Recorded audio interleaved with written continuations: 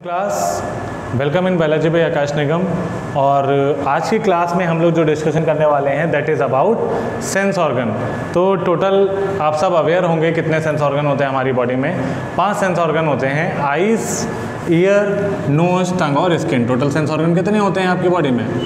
पाँच होते हैं, जिनमें आई है ईयर्स हैं नोज़ है टंग है, और क्या है? स्किन है। तो skin is the largest sensory organ, ये चीज़ आपको याद रखनी होगी। अब अगर ह्यूमन आई के बारे में बात की जाए तो ह्यूमन आई के लिए आपको क्या याद रखना है?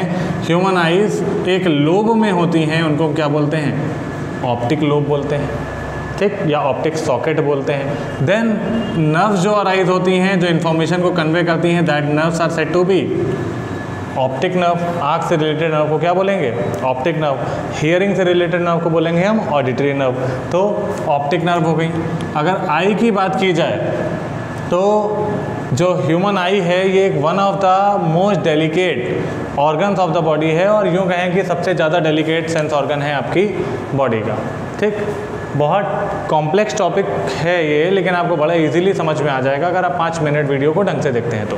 तो ऑप्टिक नर्व्स वो नर्व्स हैं जो कहाँ से अराइज हो रही हैं? ह्यूमन आई से।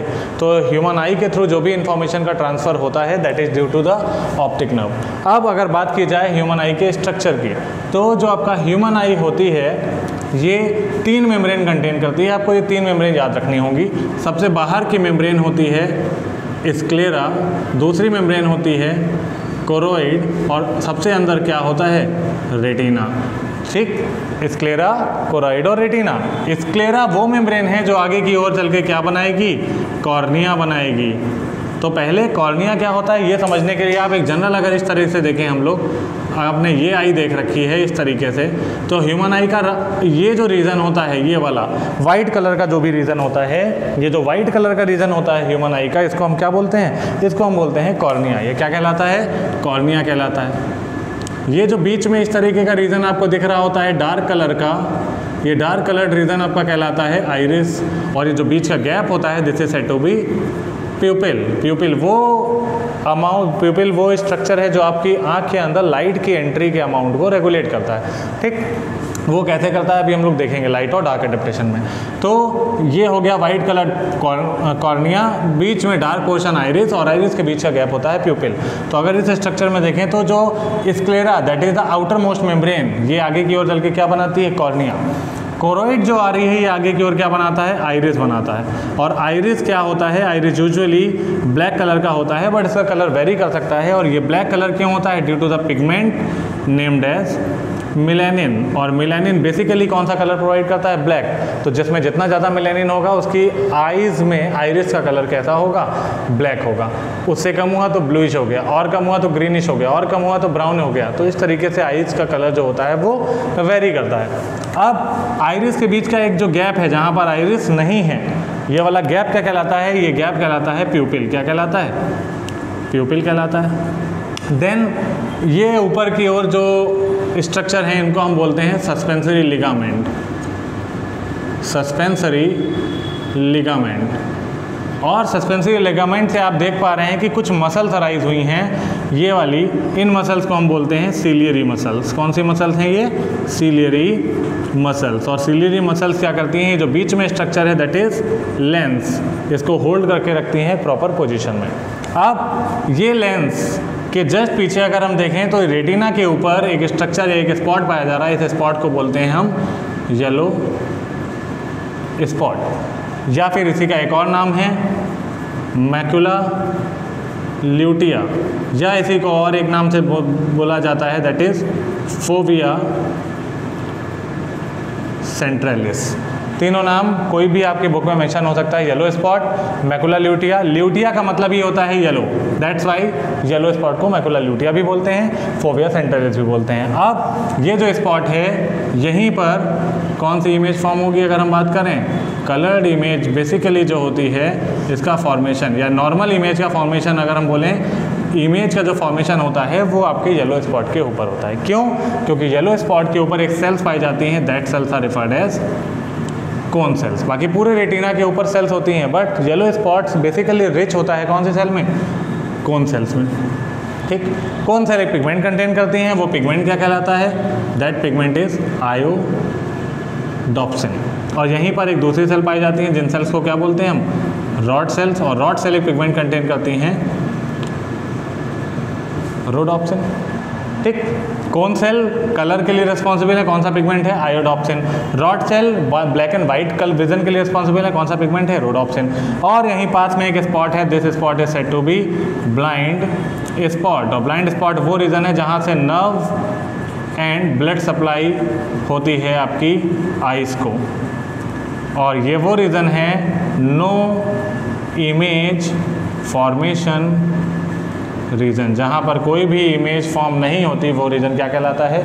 ब्लाइंड स्पॉट अब एक लास्ट चीज़, आपका आई जो होता है, वो दो पार्ट में डिवाइडेड होता है। एक पार्ट लेंस के आगे, एक पार्ट लेंस के पीछे। लेंस के आगे का जो पार्ट होगा that is said to be aqueous chamber कौन सा चैम्बर है ये? एक्वस चैम्बर और एक्वस चैम्बर फिल्ड होता है एक फ्लूड से, जिस फ्लूड को हम क्या बोलते हैं? एक्वस ह्यूमर और पीछे का जो चैम्बर है ये वाला, इसको बोलते हैं हम विट्रस चैम्बर। और विट्रस चैम्बर में एक फ्लूड भरा होगा that is said to be vitreous humour. बस आपको आई के बारे में इससे ज़्यादा कोई और चीज़ जानने की ज़रूरत नहीं है।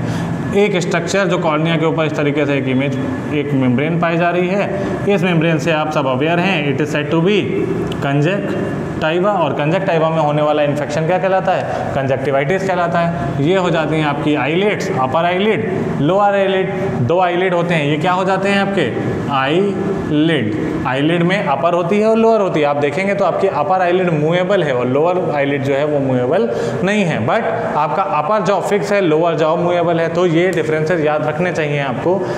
आईलेट दो हैं, अपर और लोअर, जिसमें से लोअर आईलेट फिक्स होती है बट अपर मूवेबल होती है। लेकिन जॉ भी दो हैं, अपर और लोअर, जिनमें से अपर फिक्स होता है बट लोअर मूव करता है। ठीक, अब अगर जनरल बात की जाए एक बार आई की फिर से तो आई तीन मेम्ब्रेन से बनी हुई है, इसको अगर इस तरीके से हम फॉर्म करेंगे तो तीन मेम्ब्रेन है नॉर्मल इस तरीके से सबसे बाहर की ओर क्या आ रहा है आपका? अगर बात की जाए स्क्लेरा दूसरी मेम्ब्रेन जो आगे की ओर आइरिस बना रही है, ये है कोराइड और सबसे लास्ट में हो जाएगा आपका रेटिना इससे अराइज होंगी ciliary suspense suspensory ligament suspensory ligament से सिलियरी मसल्स ये होल्ड करके रखेंगी लेंस को एक पोजीशन में। आइरिस के बीच का गैप कहलाएगा प्यूपिल पीछे की ओर एक स्पॉट है जिसको बोलते हैं yellow spot yellow spot image formation होती है, क्योंकि येलो स्पॉट जो होता है रिच होता है कौन से सेल्स में? कौन सेल्स में? और कौन सेल्स एक पिगमेंट कंटेन करती हैं? आयोडॉप्सिन इसकी एक सिंपल सी ट्रिक है, जो नेक्स्ट वीडियो में हम डिस्कस करेंगे कि कौन सेल को कैसे याद रखना है रॉड सेल को कैसे याद रखना है, कौन सी सेल कब एक्टिव होती है, कौन सी सेल कौन सा पिगमेंट कंटेन करती है। तो human eye basically is a sense organ optic lobe में होता है ऑप्टिक नर्व रिस्पॉन्सिबल हैं, इसके ट्रांसमिशन और नर्व इम्पल्सेस के लिए। ह्यूमन आई में स्क्लेरा है कोरोइड और रेटिना है। स्क्लेरा ने बनाया कॉर्निया कोरोइड ने बनाई आइरिस आइरिस का कलर है ड्यू टू मिलेनिन आइरिस के बीच का गैप है प्यूपिल और ये प्यूपिल ही रेगुलेट करता है the amount of entry of light in our eyes इसके पीछे आएगा लेंस और लेंस कौन सा होता है? कॉन्वेक्स लेंस होता है। लेंस के पीछे रेटिना के ऊपर एक स्पॉट होता है दैट इज़ येलो स्पॉट और दूसरा स्पॉट होता है आपका ब्लाइंड स्पॉट तो blind spot is the reason of no image formation yellow spot is the reason of maximum image formation lens के आगे का चैम्बर एक्वेस्ट चैम्बर लेंस के पीछे का चैम्बर विट्रेस चैम्बर उम्मीद कर रहे हैं कि आपको पूरा आई एक बार में समझ में आ गया होगा। स्टिल इसका जो दूसरा वीडियो इसके बाद अपलोड होगा, वो बिल्कुल देखें ताकि आपको रॉड सेल और कौन सेल से रिगार्डेड ट्रिक तुरंत याद हो जाए और आपको रटना नहीं पड़े दोबारा। तो अगर चैनल अच्छा लग रहा हो तो लाइक करें शेयर करें सब्सक्राइब करें और ऐसे ही जानकारी के लिए चैनल को देखते रहें। Thank you